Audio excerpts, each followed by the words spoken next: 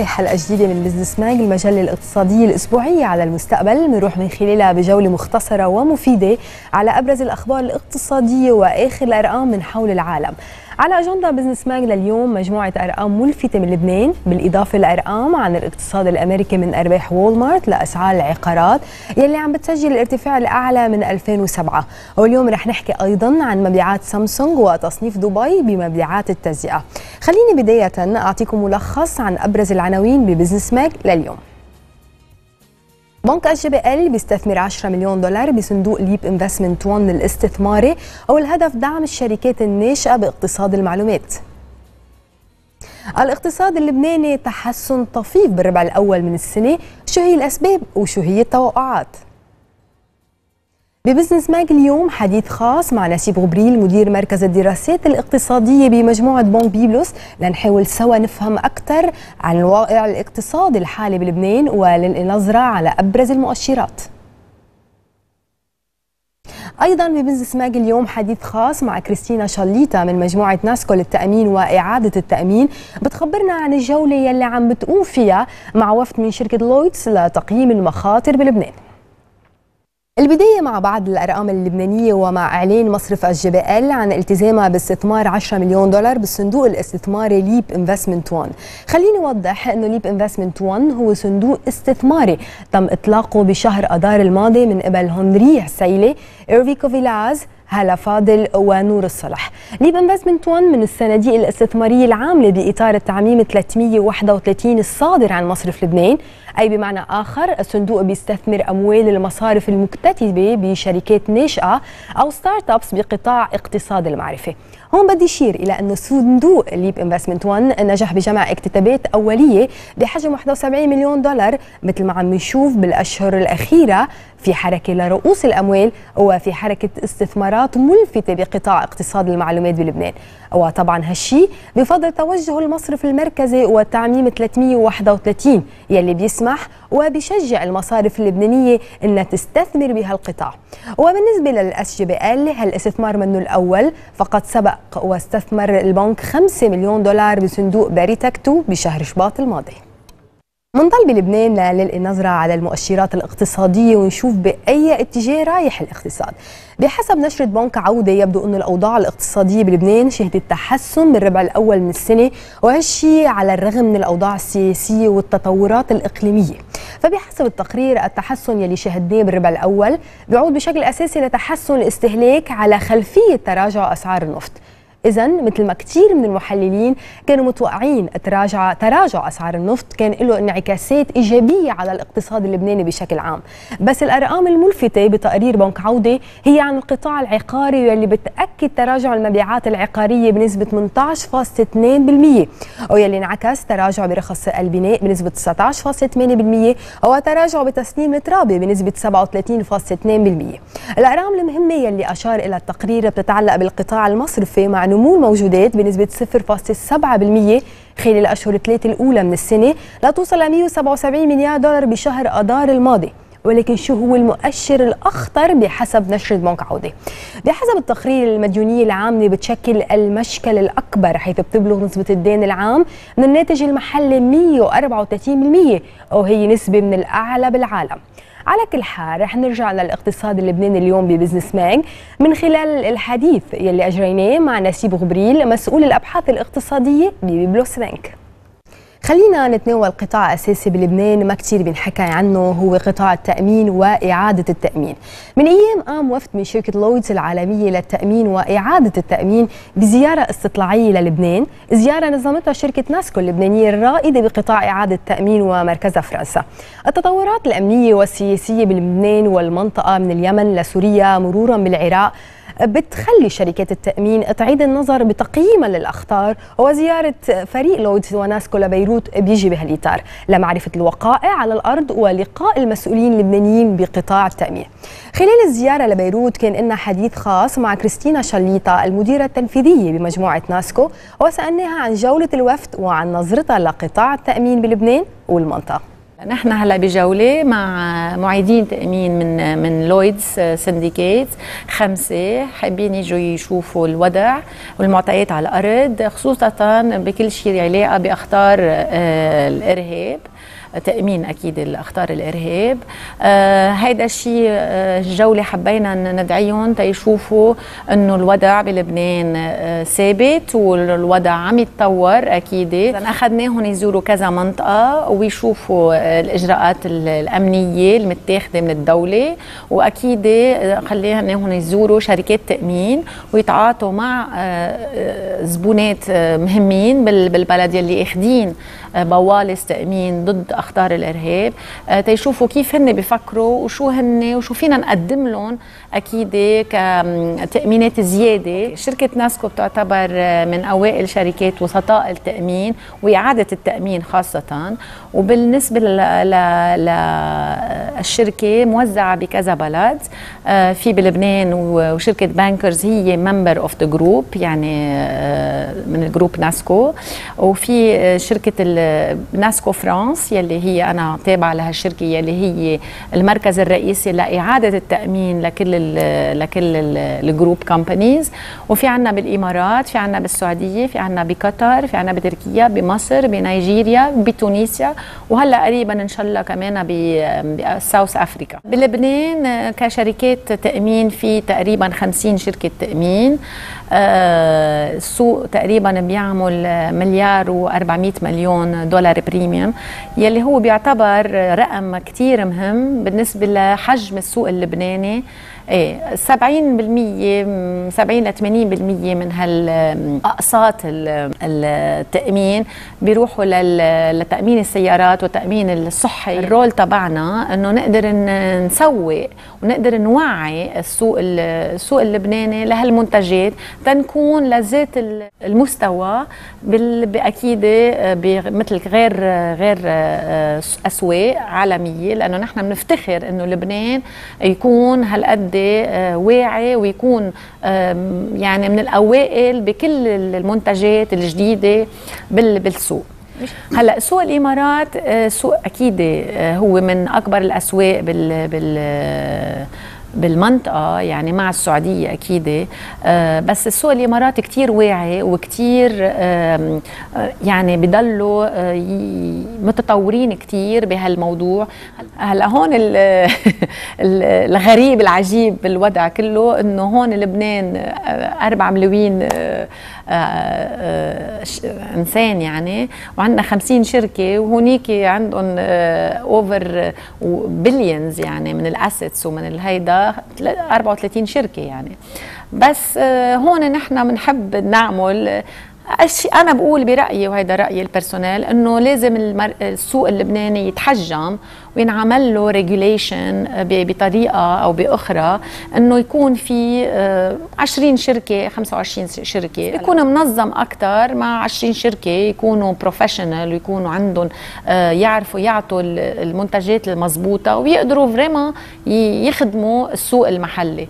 لأنه كل ما يكون في شركات كل ما بتصفي في آه، منافسة وبتصفي المنافسه ما لها طعمة وما بقى لها قيمة يعني. الأحداث الأخيرة اللي عم بتصير بالعالم بالعراق بسوريا ومؤخرا باليمن أكيد أثرت بطريقة كتير آه، قوية عليهم وصاروا يعيدوا النظر بكل خصوصا بالتأمينات البحرية. إذا مثلا شيء باخرة مارقة حد هال هالبلدان عم بيصير عم بي امرارا حتى ما عم نلاقي حدا عندي يأمنهم. يعني عرفت كيف؟ إنه إذا مرقه بحد عدن أو شيء ما في بقى حدا يأمن أو بيأمنوا بأسعار خيالية لأنه عم بخافوا يصير في آه شو اسمه آه قرصنه أو آه هيدا. وأكيد هلأ بالعراق مثلا في كتير كتير تأمينات ما بقى حدا عم يقدر يأمنها ببغداد. يعني مثلا حتى التأمين العادي ضد ضد الحريقة ما في حدا يأمن. دبي بالمركز الثاني عالميا من حيث تواجد الشركات التجزئة. 10 مليون جهاز Galaxy S 6 و S 6 Edge من سامسونج هي نتائج المبيعات خلال شهر واحد من إطلاق الطراز الأخير من Galaxy. ومواضيع تانية ب Business Mag بعد break قصير.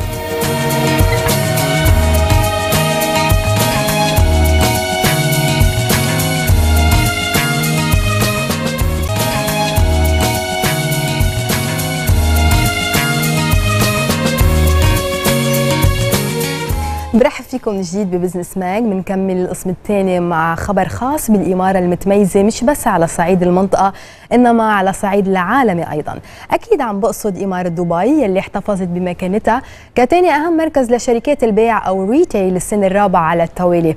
وهي عم تنافس لندن يلي أتت بالمركز الأول بحسب تقرير أعدته CBRE المجموعة الاستشارية العالمية الرائدة بمجال العقارات. وأظهر التقرير أنه حصة الإمارة من شركات التجزئة العالمية ارتفعت بالعام الماضي من 55% ل 55.7% كما حلت دبي بالمركز الخامس بين أكثر المدن استقطابا للعلامات التجارية الجديدة العام الماضي حيث استقطبت 45 علامة تجارية جديدة واحتلت أبو ظبي المرتبة الثالثة عالميا باستقطاب 55 علامة تجارية جديدة ب 2014 وقال مدير شركة CBRE بالشرق الأوسط أنه عوامل عديدة عززت نمو هالقطاع أمام شركات التجزئة والعلامات التجارية العالمية. ومن أهم البنية التحتية المتميزة للمساحات التجارية ومراكز التسوق إضافة لسهولة الحصول على تأشيرات سفر وسهولة السفر لدبي وتميز الفنادق وخدمات قطاع الضيافة بصفة عامة بالإمارات. وأضاف لا تزال دبي خيار واضح لغالبية العلامات التجارية اللي بتطلع لدخول المنطقة للمرة الأولى. يبدو أنه تداعيات الأزمة السورية المستمرة من عام 2011 عم بتطال البلدان المجاورة وهالمرة كان دور الأردن حيث انخفضت الإيرادات السياحية بالبلد بأول أربعة أشهر من العام الحالي بنسبة 14.7% مقارنة مع الفترة ذاتها من العام السابق بحسب ما ذكرته هيئة تنشيط السياحة الأردنية.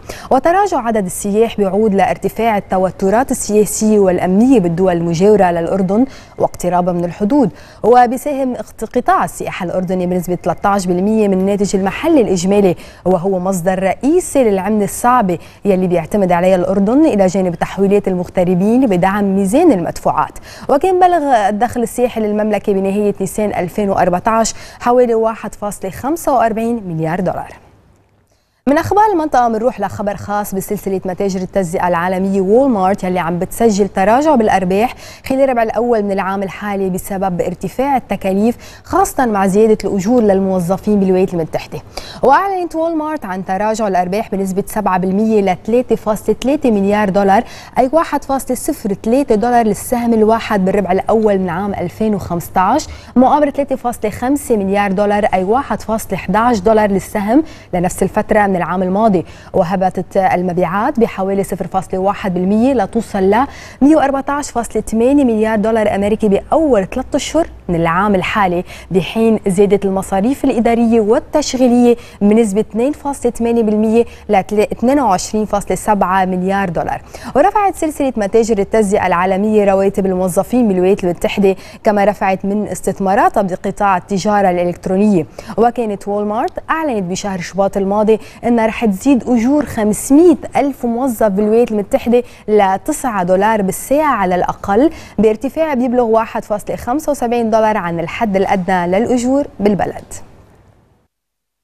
منروح لعالم الهواتف الذكية وهو السوق اللي عم يشهد منافسة شرسة بين عدة شركات عملاقة أهمها أبل وسامسونج حيث نقل تقرير لوكالة أنباء يونهاب الكورية أنه مبيعات سلسلة جالاكسي S6 و S6 Edge بلغت 10 مليون جهاز بحوالي شهر واحد من تاريخ من تاريخ إصداره.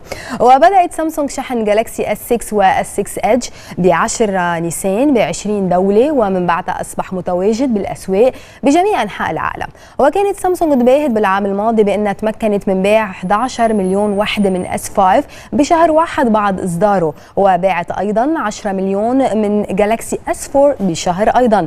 ولكن على الرغم من البداية القوية تحول Galaxy S5 ليصير خيبة أمل بعكس Galaxy S4 واللي استمر بكسر الأرقام حيث باعت سامسونج أقل من 40% من الوحدات يلي كان المتوقع بيعها بوقتها بحسب صحيفة Wall Street Journal وبالرغم من الأرقام الكبيرة الأولية لمبيعات جالاكسي S6 و S6 Edge لكن هيدا ما بيعني بالضرورة إنه سلسلة S6 رح تكسر الأرقام اللي حققها جالاكسي S4 وذلك بسبب المنافسة القوية بصناعة الموبايلز الذكية وظهور شركات كشاومي ولينوفو وهواوي وغيرها. وبحسب عدد كبير من المقالات بأبرز الصحف الاقتصادية العالمية مبيعات S6 وحتى لو بلغت 10 مليون جهاز تعتبر أقل بكثير من التوقعات حتى أنه فوربس صنفتها على أنها أرقام كارثية. كيف كان الأداء الاقتصادي بلبنان بالأشهر الماضية وشو هي القطاعات يلي بتسجل تحسن وأي هي القطاعات يلي عم بتواجه صعوبات؟ نظرة وتقييم لأبرز المؤشرات الاقتصادية مع نسيب غبريل مدير مركز الدراسات الاقتصادية بمجموعة بنك بيبلوس بعد break قصير.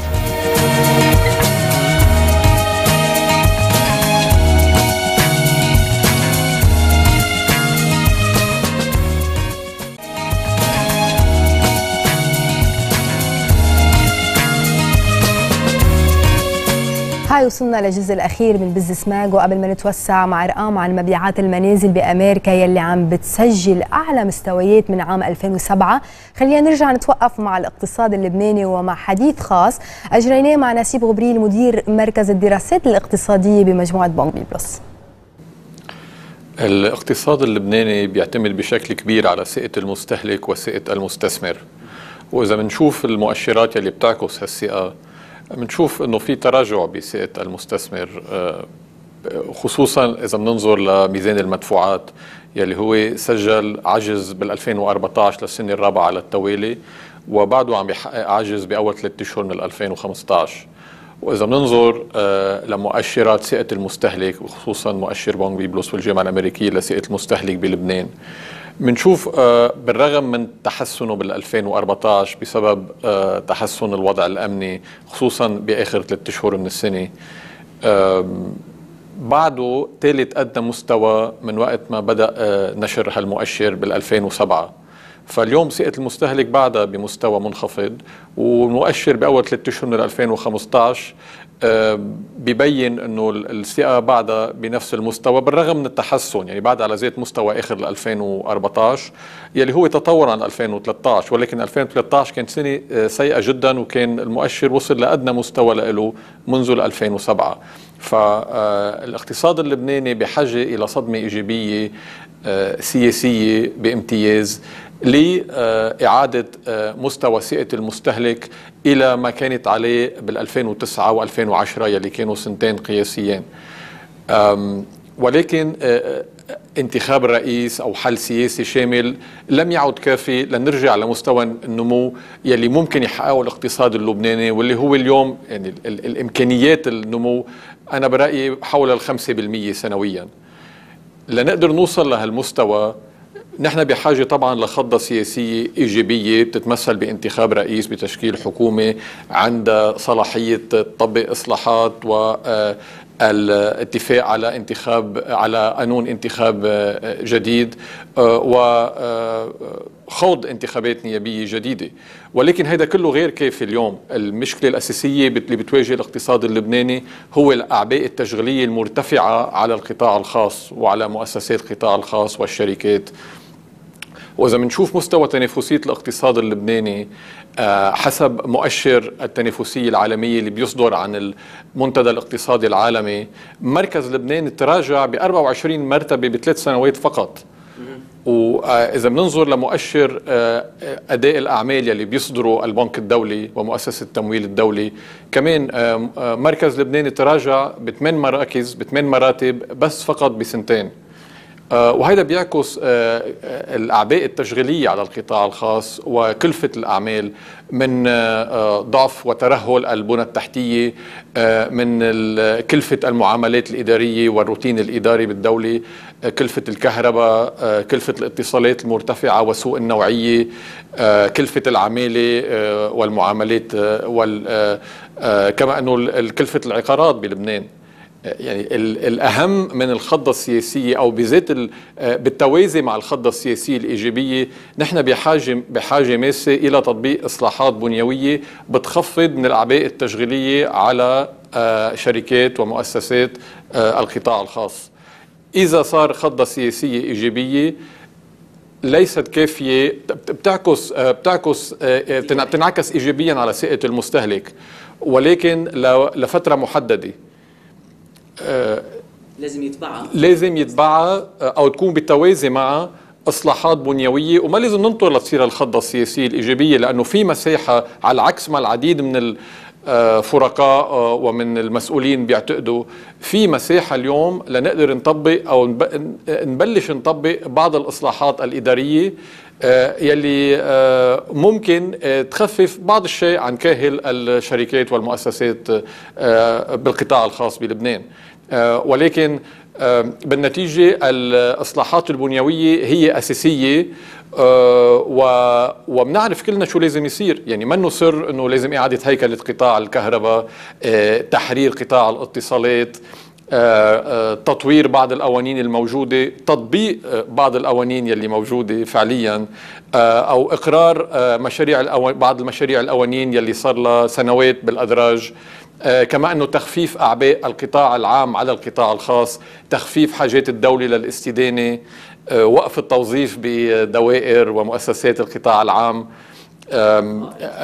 يكون عندنا استراتيجية ذو مصداقية لاستقطاب الاستثمارات الأجنبية المباشرة. هيدي كلها إصلاحات معروفة وحكى عنها صندوق النقد والبنك الدولي ووكالات التصنيف ومؤسسات البحث. يلي مطلوب هو إرادة سياسية لتطبيق الإصلاحات. صحيح صحيح لأنه للأسف الإصلاح بلبنان اتضح إنه هو يعني نوع من كبيش سياسي. إذا أحد الفرقاء طبق إصلاحات الفريق الثاني بيعتبر هيدي خسارة سياسية والفريق الأول بيوظفه سياسيا كمان. شو الحل؟ الحل هو يكون في إرادة سياسية جامعة لتطبيق الإصلاحات ولكن هالإرادة السياسية مثل ما تفضلت ما عم تجي من الطبقة السياسية ومن المسؤولين بالدولة. لازم تجي من خلال ضغط من القطاع الخاص اللبناني يدا بيد مع المجتمع المدني. لأنه الطبقة السياسية لحالها ما رح تقدم على تطبيق إصلاحات جذرية لعدة أسباب. المحاسبة هو أول محاسبة المسؤولين هو أول خطبة لتطبيق هالإصلاحات وبيبدأ من الهيئات الاقتصادية يوضعوا إيدهم مع بإيد المجتمع المدني ويشكلوا قوى ضغط فعلية لأنه عندهم الإمكانيات يضغطوا. إن كان من ناحية تخفيف حاجات الدولة للاستدانة أو تطبيق الإصلاحات لتخفيف الأعباء التشغيلية على مؤسسات القطاع الخاص. آه للأسف اليوم ما عم نشوف هالشيء آه عم بيحصل. ولكن برجع بكرر هالمساحه موجودة آه للقطاع الخاص للهيئات الاقتصادية بالتعاون مع المجتمع المدني يضغطوا فعليا على المسؤولين ليحسوا هالمسؤولين إنه في حدا عم بيحاسبهم. على أعمالهم أو على عدم أعمالهم. شو عم بيصير بالسوق العقارية بأمريكا؟ هل أخيرا جاوزت أمريكا الأزمة اللي ضربتها سنة 2008 مع انهيار أسعار المنازل؟ إذا نظرنا للأرقام يبدو أنه فعلا الأزمة اللي ابتدت ب 2008 اليوم انتهت حيث ارتفعت عمليات بدء بناء المنازل الجديدة بالولايات المتحدة خلال الشهر الماضي لأعلى مستوى بأكثر من سبع سنوات بإشارة إلى تعافي قطاع العقارات من البداية المتراجعة بالعام الحالي وأعلنت وزارة التجارة الأمريكية عن ارتفاع عمليات بدء بناء المنازل المنازل بنسبة 20.2% ل 1.14 مليون منزل بشهر نيسان الماضي وهو أعلى مستوى من تشرين الثاني 2007 أي الوقت يلي شهد بداية الأزمة المالية العالمية.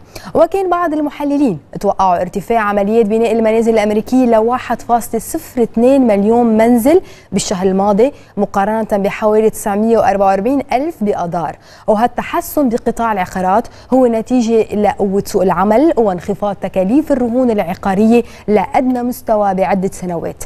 وبهالسياق ارتفعت تصاريح بناء المنازل بالولايات المتحدة ل 1.14 مليون منزل بنيسان الماضي على أساس سنوي وهو أعلى مستوى من حزيران 2008 نوصل لخبرنا الأخير بحلقة اليوم بزنس ماك حيث كشفت بيانات رسمية أن الصين عادت لتتصدر قائمة الدول الدائنة بالولايات المتحدة خلال شهر أذار الماضي. وأعلنت وزارة الخزينة الأمريكية أن الصين استحوذت على سندات أمريكية بقيمة 1.26 تريليون دولار أمريكي بأذار الماضي مقابل 1.22 تريليون بشباط.